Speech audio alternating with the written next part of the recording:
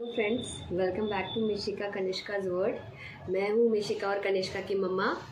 और अभी आज मैं जो वीडियो बनाने जा रही हूँ, उसमें मैं एक कुमाऊनी डिश बनाने जा रही हूँ, उत्तराखंड की जिसे कहते हैं चड़ंची और उसके लिए क्या क्या चीज़ें चाहिए, मैं आपको बताती हूँ। वैसे तो हर किसी का अपना अपना तरीका है उसे बनाने का। इस डिश को बनाने का चड़ंजी को बनाने का। तो हम किस तरीके से बनाते हैं या मैं किस तरीके से बनाती हूँ, मैं वो आपको दिखाऊँगी। इसके लिए हमें चाहिए काले चने और हल्दी मसाले, धनिया, मिर्च वगैरह और काले चने भी भीगे हुए। हम उसे पहले पहले दिन, पहली रात को ही भिगा देते हैं। मतलब एक दिन पूरा उसे भीगा हुआ चाहिए। या अगर आपको आज दिन में बनाना है एक दो बजे तो आप मॉर्निंग में सेवन ओ क्लॉक ही उसे भिगा दीजिए। या जितने बजे आप उठते हैं, सुबह जल्द से जल्द उसे भिगा दीजिए, ताकि वो अच्छे से भीग सके और फिर उसे हमें क्या करना होता है, मैं आपको दिखाती हूँ।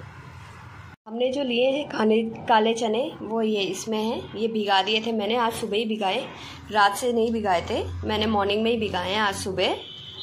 तो अभी मैं इसको करने जा रही हूँ मिक्सी और उसके बाद फिर कैसे, क्या बनता है, मैं आपको दिखाती हूँ। देखिए, मैंने चने को बिल्कुल मिक्सी कर लिया है। और ये बिल्कुल इसका पेस्ट बन गया है, काले चने का।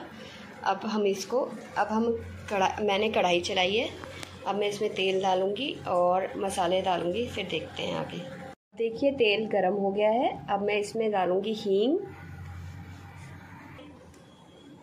ये डाली मैंने हींग। अब मैं डालूँगी जीरा। ये। हींग जीरा डाल दिया।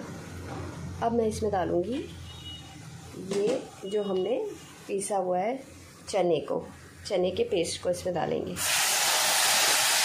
ये मैंने इसमें डाल दी। अब हम इसे बहुत अच्छे से भून लेंगे।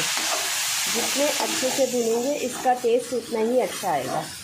हम इसे जितने अच्छे से भून लेंगे, इसका टेस्ट उतना ही अच्छा आएगा।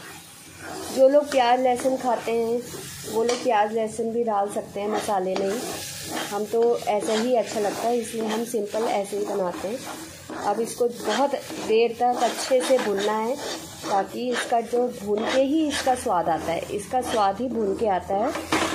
और अब देखिए, और ये खाने में भी बहुत टेस्टी होती है, और ये बहुत हमारे हेल्थ के लिए भी बहुत अच्छी होती है। इसमें बहुत प्रोटीन होता है।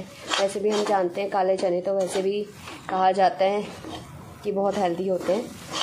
तो ये देखते हैं इसको भून, मैं जब तक भूनती हूँ, आपको फिर आगे की दिखाती हूँ प्रोसेस अब ये भून रहा है। इसका कलर ही चेंज हो जाएगा और एक बहुत अच्छी सी खुशबू आने लग जाएगी। जब ये भून जाएगा, बहुत अच्छी सी खुशबू और इसका कलर चेंज हो जाएगा।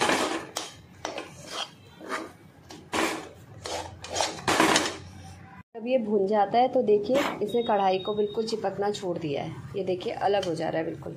ये ये देखिए। तो अब अब मैं इसमें डालूँगी पानी। पानी में ही मैं डालूँगी हल्दी, धनिया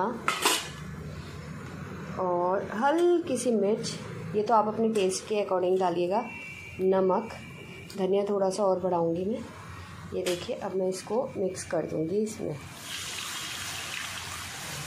ये मिक्स कर दिया। अब मैं आपको दिखा ये देखिए, ये पक रही है कढ़ाई में। जितना ये पकेगी, उतना अच्छा टेस्ट आएगा इसका। ये है चरंजी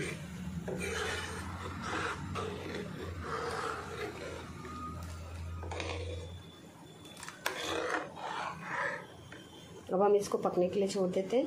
सिम में। फिर आगे देखते हैं जब ये रेडी हो जाती है। पकने लगी है। इसमें थोड़ा सा जैसे ये आ रहा है ना बबल्स इसका मतलब ये अब पक रही है। इसमें मैं डालूँगी गरम मसाला। ये मैंने डाल दिया गरम मसाला। अब इसको मिक्स कर लेंगे।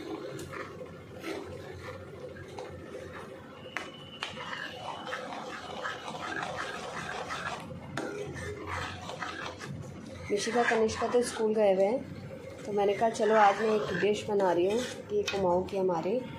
तो मैं क्यों ना आप लोगों को भी दिखाऊँ। निशिका कनिष्का आएँगे अब स्कूल से थ्री ओ क्लॉक और उसके तब तक ये खाना हमारा हो जाएगा रेडी ये रहा, ये बस मिक्स हो। गया अब हमारी चड़ंजी जो है वो बिल्कुल रेडी है। मैंने इसको ऊपर से घी जीरा और लाल मिर्च से तड़का दिया है और इसमें हरा धनिया डाला है। अब देखते हैं मिशिका कनिष्का आएँगे तो मैं उनको कैसी लगी वो भी इसके साथ इस वीडियो के संग अटैच करके आपको दिखाऊँगी वो उन दोनों का क्या कहना होता है। तो तब तक के लिए बाय बाय कनिष्का आपको कैसी लगी? अच्छी लगी? ओके।